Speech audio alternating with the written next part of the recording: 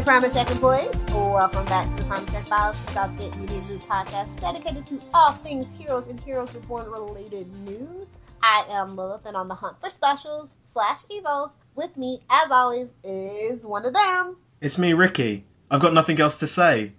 Okay, well, I guess my tidbit is that Close to You is a creepy, messed up episode. the only saving grace is the opening narration is done by HRG. so, with that said, let's just jump right into the recap. The original air date for this episode is January 11th, 2010. It was written by Rob Fresco and directed by Roxann Dawson. And we have Hiro and Ando travel to Florida to rescue Mohinder from a mental institution. Noah seeks out Matt to help him with a lead on dealing with Samuel. Peter learns of a horrifying potential future event involving Emma. Blah. Yes. And the only thing really that we need to know is Vanessa Wilder, Robert Knepper's character's childhood sweetheart, who happened to work at the house that he sunk into oblivion. Yes. She's just a plain old crappy human. There is one Okay. thing I want to bring up. The mental institution is blatantly just a reused Primatech from season two, right? Because if you look down on that ground, it's got those those green tilings. And the thing is, if you look at those green tilings and you look at the green tilings in the AA meeting in Heroes Reborn, it's exactly the same place, right? Or is it just me? It could be. I don't know. Maybe you've been uh, paying too much attention. I have blatantly been paying too much attention. But anyway, yes. So, where should we start off with?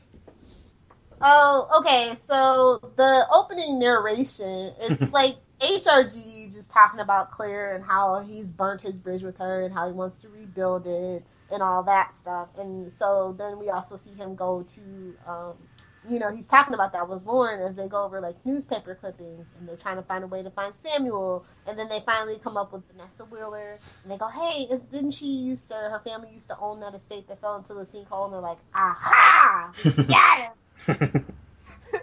and so off they kind of go. Yes.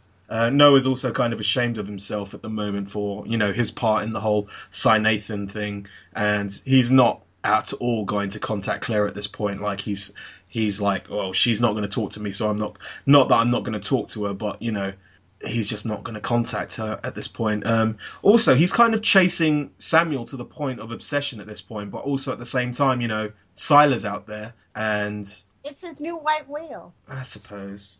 I suppose. Maybe he knew that Sylar would be impotent. I don't know.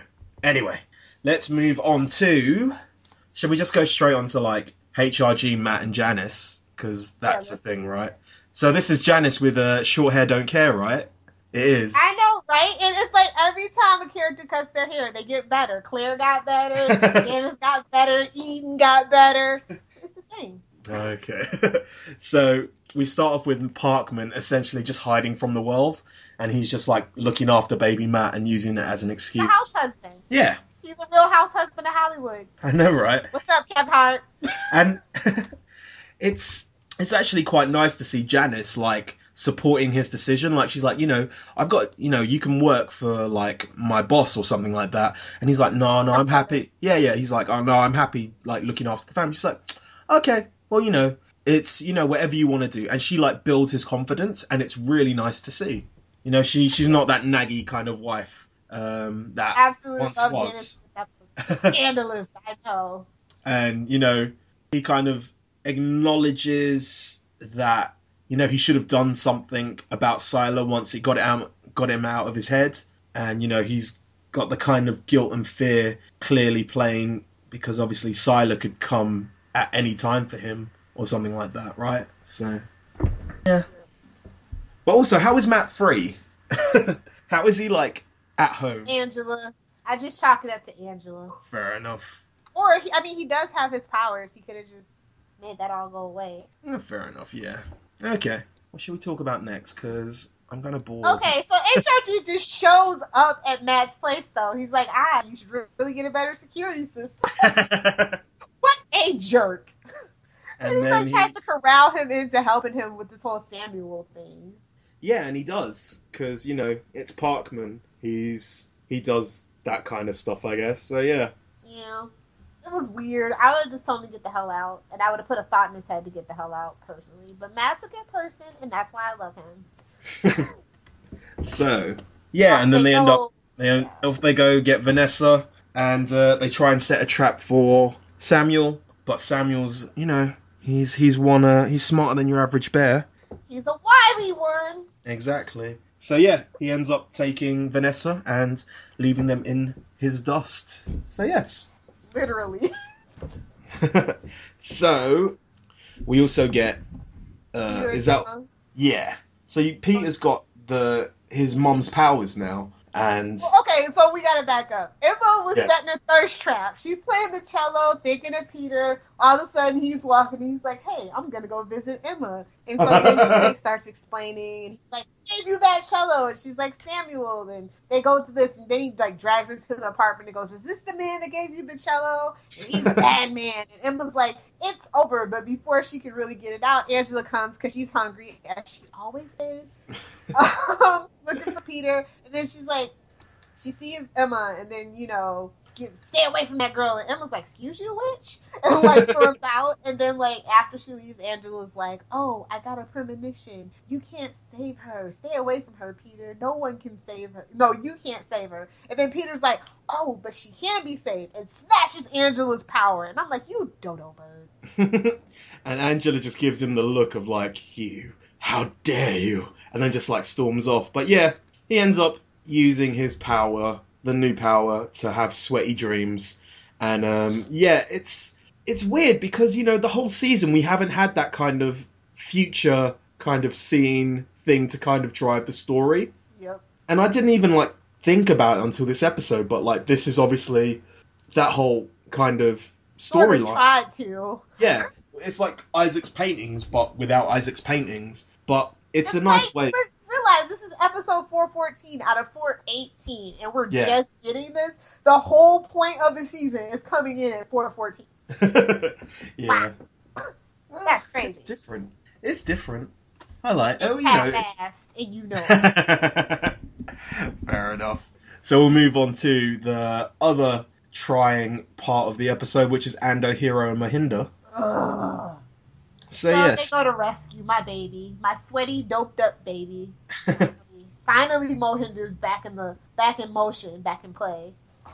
so they end up going to Primatech. Oh, sorry, I mean um, the asylum, Riverdale, I think it's called, and um, puts Hiro. Hiro in, and for some reason now Red Lightning can open doors. For some reason, instead of frying, cir- surge. yeah, instead of frying circ- circuitry. But you know, enough about that. It's kind of like a, a Hiro kind of comedy aspect of the episode, which kind of harks back to season one. But at the same time, I like the fact that you know they take away the drugs from Mohinder, but Ando ends up taking the drugs because it doesn't make the job any easier. Because it would have been pr- probably a bit more simple if Ando was able to use his powers. Because you know you've already got the Achilles heel of Hiro not being able to use his powers or be coherent. So yeah, Yeah. I kind of like that aspect. And then the ho- is this the one with the electroshock therapy, which kind of comes out of nowhere as well, which is a bit. Um, it was like he had the answer the whole time. Really? Okay. yeah, but yeah, I think that's that's another one of those kind of oh we've got four episodes left. Let's let's fix this up quickly. What can we do? Oh, electroshock therapy with red lightning. He'll be healed in uh, two seconds, and then he'll be able to teleport out. Okay, But, yeah.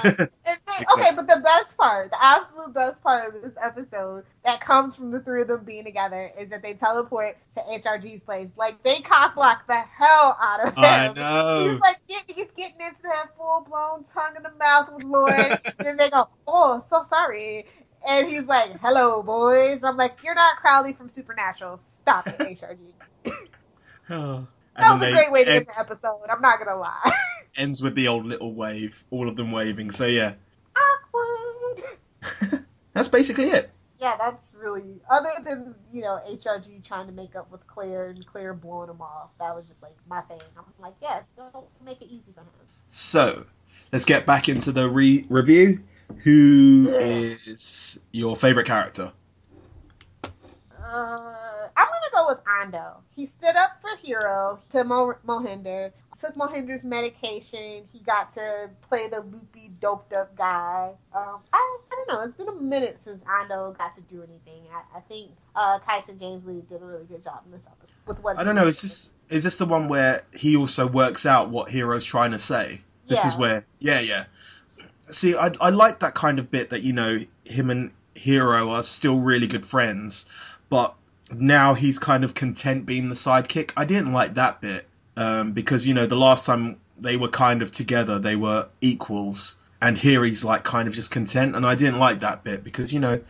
At this point, you know they they are equals because they both have powers. also dying, and he's getting ready to marry.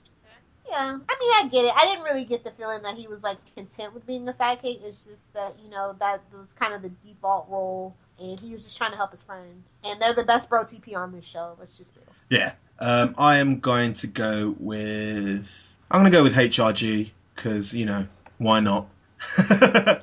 No reasons, it's just- it's just HRG. Um, no, I will probably go with. Yeah, I'll go with HRG because you know he's getting him some. What what? I know. What about favorite scene? Favorite scene has got to be the end. I'm looking at it now. I'm just looking at the the three of them waving. Mohinder, Yeah. Ando, and Hiro. I'm just looking at them waving, and it just make it's making me smile. Like they're all dirty and stuff, and it's just like, sorry, cock blocked, but still, can you help us? How about you? I have to say, I think my favorite thing is shoot. It's where they go to see Vanessa, and Vanessa's like not buying what HRG is selling, and then HRG looks at Matt like, "Can you help me out with your thoughts?" and then Matt's like, "Oh, right, right. The reason why I'm here." Actually, I'm also for my favorite scene. Um, well, not really my favorite scene, but I really liked the aspect of seeing Angela's dreams or Angela's powers, and I can see how like the dreams can be misinterpreted because you know the way Sylar comes in at one point and just says, "I'm here to save you" in like a totally deadpan voice, and you can kind of see how you know you can the dreams are open to interpretation at that point. So yeah. My favorite character, character interaction is actually Lydia and her daughter. Her daughter is giving her so much damn sass. I was gonna knock the crap out of that little girl. You don't even know. I'm going to go with uh, Lauren and HRG because you know it's it's a very tense it's very tense between them, and you know they're both thinking it, and uh, yeah, Unsolved sexual tension. exactly. you know. Classic. so we are going to go on to lines. What is your favorite line? Hmm, Fave lines, fave lines. Oh, okay. Mohinder goes, uh, you can use your red lightning. And uh, Ando's like, oh, see, like, this one time, Hiro once saw a future where I killed him with my red lightning. and then Mohinder's like, was it in Florida? Ando's like, no, Japan. Mohinder, then we're good to go. So funny. I'm going to go with you can put me in here in here to be continued because that is just every every episode of Heroes. So yeah. I also like um, the line where uh, Lydia's daughter tells her, "Hey, why don't you just call him?" Which is a reference to the webisodes as well. But then Yeah. Lydia's like, "Maybe I can," and then she sends Peter the compass. I Hmm. thought that was really cool, but like uh, lackadaisical and not uh, uh, illogical. But whatever. Hmm, fair enough. So, grades. Ooh, C plus Yeah, I agree. got the ball rolling. Yeah, I agree. So everybody's just phoning it in at this point, acting wise. To me, Hmm, I don't know. I think I think Peter's doing a good job, but he's not even even in this episode, really, is he? So he has like those tries Yeah. HRG when he gets the compass. yeah, fair enough. Let's just move on. Okay, so trivia. I have bits of trivia, which is basically this is the last narration, I believe. Yeah, this is the last time we had narration on the show because obviously the show is cancelled at this point, and Noah's the fifth person to do narration for the show, uh, and then obviously Hiro has loads of pop culture references once again. Don Quixote, Star Wars, Hulk, Sherlock Holmes, Batman, Harry Potter, and yeah, that's it. So, we will move on to the graphic novels, which are called The Trip Part 1 and The Trip Part 2. So, the first one's called, like, subtitled Splinter. And this is basically after Hiro's been whammied by Carney Damien. You're seeing everything through his eyes, and it's weird because they'll they'll basically show two panels at the same time where one is where what he sees and the other is like the real world and it's basically the story of him saving a lost dog and he sees Mohinder and then he goes to try and save him and that's the kind of end of that. And there's so many like easter eggs in every panel of the thing from every kind of popular cultural references. I would just get you to go to heroes wiki to see them because there's too many for me to list. So we'll move on to part two which is called elementary my dear Hiro and it's basically an episode of Hiro getting chased around by a guard and it's very slapsticky and once again it's done with like the whole two pages. One is seeing it from his point of view, and one of it's seen from the real real world point of view, and it ends with him ending up back in Japan. So yes. Um, the first issue was written by Kaz McDermott and the art was by Jason Badower. The Easter egg was a behind the scenes image of Doug Haley and uh, Julian De La Salle. And then the second issue was written by uh, Jim Martin and the artwork was done once again by Jason Badower. The Easter egg was a behind the scenes image of Jack Coleman, Hayden Panettiere, and Milo Ventimiglia doing God knows what. God knows so next up, we have the following people joined us during the live tweets, rather tweeting, retweeting, or faving. We have nice one Franzi, Cinzia six six seven, what what, Kathy Titer, English Idiot 101, Heroes Reborn underscore, Mike Schmidt 09, Kinda Kia, Demetria Mills three, Proof of Life seven zero, and Paraceline. Oh, thank you very much. And we also have a bit of feedback from our favourite English Idiot 101, Charlie. She says, Hey, it's Charlie. I quite enjoyed the three episodes, even if they moved a little slow in terms of story. I'm glad they finally gave Nathan a funeral and that Peter and Claire know what happened. Samuel was just straight up evil, but I don't like how they introduce his love. It draws the evilness away from him. I don't like what they've done to Sylar either. He is far too removed from his season one origins. Hiro was just confusing, but he's supposed to be, I guess, and it's nice to see Mohinder again. Heroes has a lot of story to do in only a few episodes, and they're not quite there yet with these three. I totally agree. They're kind of rushing at this point to kind of get it done.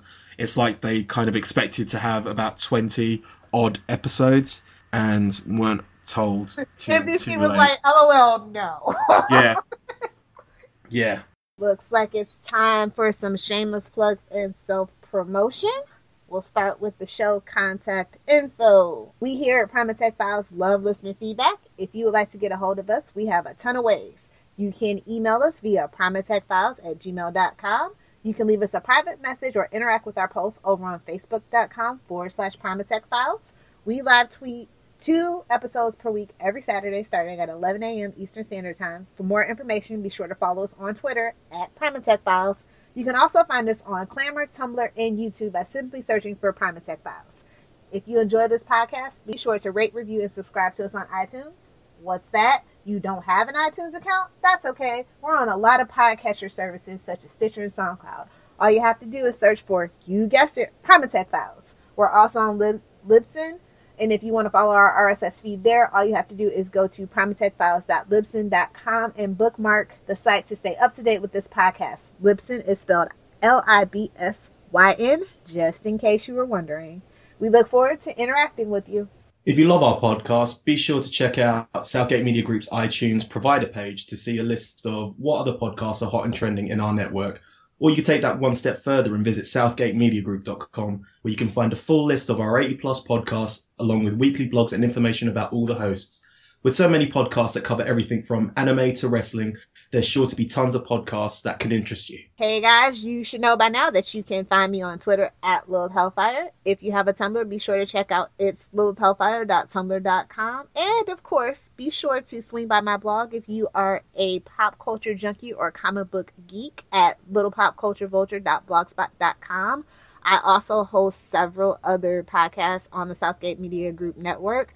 Some of them are The Flashpoint, Queen Consolidated, and Channel 52. So if you are into obviously DC comic book related stuff, be sure to check it out. You can find my writings at tvbinges.com. It's a place for all your binge watching needs, and you can also create your own TV binge and we'll help promote it. We do a monthly binge watch, which you're more than welcome to join in. Just go to their Twitter at tvbinges just to find out more information. You can find me on Twitter at RickyJDiaz. That's R I C K Y J D I A Z or Z if you're American. And we are going to wrap it up. We want to thank you for joining us on this edition of Primatech Tech Files. We hope you enjoyed it and found it informative and entertaining. Please do be sure to keep sending in those emails. Follow us on Twitter, Tumblr, Clammr, YouTube, and don't be afraid to interact with our Facebook posts. Like, share, and comment. Keep it up. You guys are doing such a great job. Heroes Reborn is so close, we can taste it. And, well, even when that's over, we still have tons of stuff Heroes related to talk about. So give us your thoughts about what you want to see. Download the podcast, save the world.